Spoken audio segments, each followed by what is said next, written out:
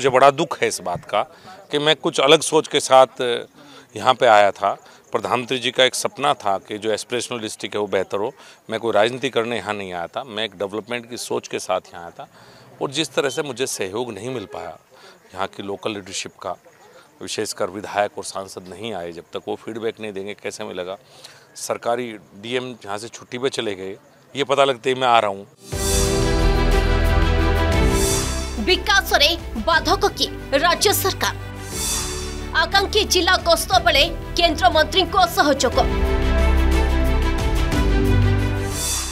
आसिले ना बड़ अधिकारी कि दे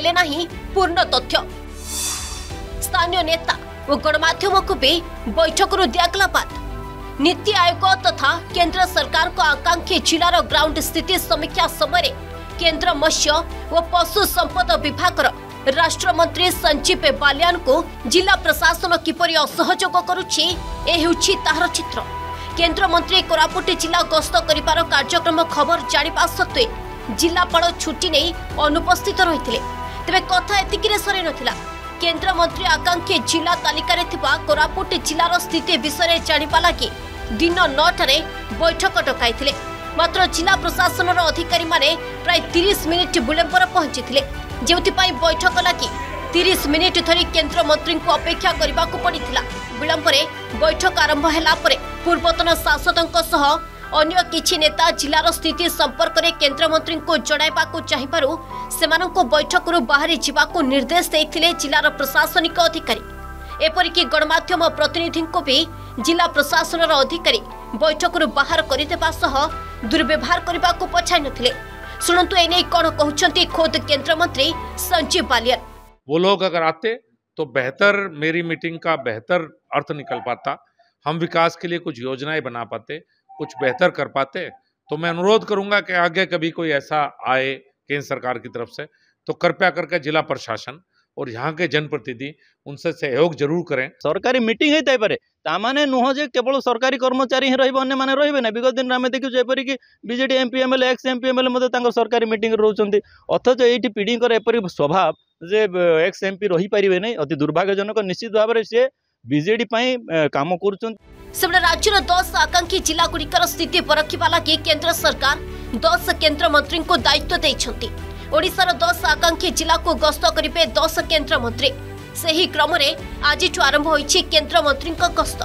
केन्द्रमंत्री संजय बालियान कोरापुट गस्त कर तेरह चौदह और पंद्रह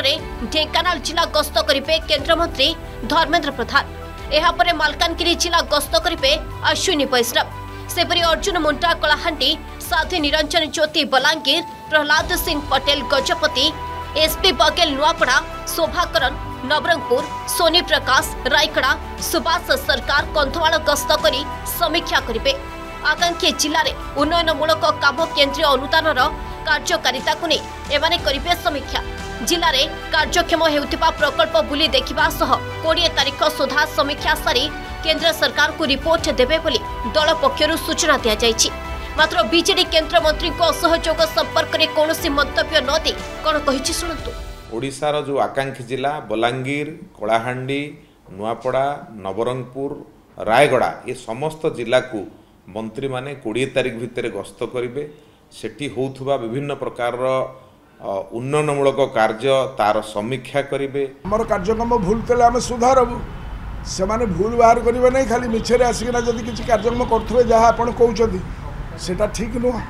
ଦେଶର ଶହେ ସତର ଅନୁନ୍ନତ ଓ ପଛୁଆ ଜିଲ୍ଲାର ବିକାଶର ଲାଗି କେନ୍ଦ୍ର ସରକାର ଦୁଇ ହଜାର ଅଠର ମସିହାରେ ଆରମ୍ଭ କରିଥିଲେ ଆକାଂକ୍ଷୀ ଜିଲ୍ଲା ଯୋଜନା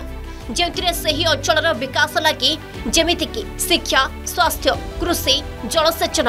ଗମନାଗମନ ଭଳି ଅନେକ ଦିଗକୁ ଗୁରୁତ୍ୱ ଦେବା ଲାଗି କେନ୍ଦ୍ର ସରକାର ସ୍ୱତନ୍ତ୍ର ଫଣ୍ଡର ବ୍ୟବସ୍ଥା କରିଥିଲେ ମାତ୍ର ରାଜ୍ୟ ସରକାର ଏହାକୁ ପ୍ରଥମେ ବିରୋଧ କରି ସମାଲୋଚନାର ସରବ୍ୟ ହେବା ପରେ ଶେଷରେ ଗ୍ରହଣ କରିଥିଲେ କଥା ଏତିକିରେ ସୀମିତ ରହିନଥିଲା ବରଂ କେନ୍ଦ୍ରରୁ ଆସୁଥିବା ଟଙ୍କାକୁ କାର୍ଯ୍ୟାନ୍ୱୟନ ଦିଗରେ ବି ସରକାରଙ୍କ ଇଚ୍ଛା ଶକ୍ତିର ଅଭାବକୁ ନେଇ ଅଭିଯୋଗ ହୋଇଥିଲା ଯାହାପରେ ରାଜ୍ୟ ସରକାର ଦଶ ଜିଲ୍ଲା ଲାଗି ଦଶ ଆଇଏଏସ୍ ଅଧିକାରୀଙ୍କୁ ଦାୟିତ୍ୱ ଦେଇଥିଲେ ମାତ୍ର ତାହାପରେ ବି ଆଜି ଆସିଥିବା ଏପରି ଚିତ୍ର ପଛୁଆ ଜିଲ୍ଲାର ବିକାଶ ଲାଗି ରାଜ୍ୟ ସରକାରଙ୍କ ଆନ୍ତରିକତାକୁ ପଦାରେ ପକାଇଛି कोरापुटर गोपाल पाढ़ी भुवनेश्वर स्वप्नांजलि महां